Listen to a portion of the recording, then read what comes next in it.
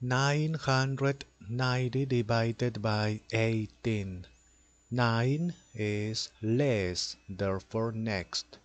99 is not less, therefore with 99.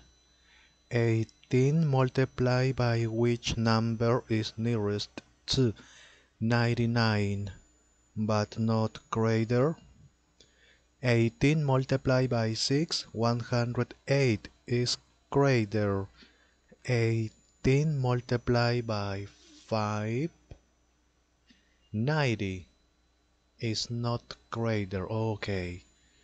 99 minus 90 is 9 next.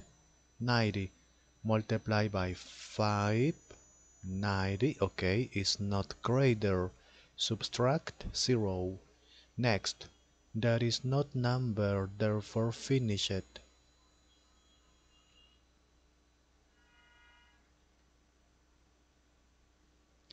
Nine hundred ninety divided by eighteen is fifty-five.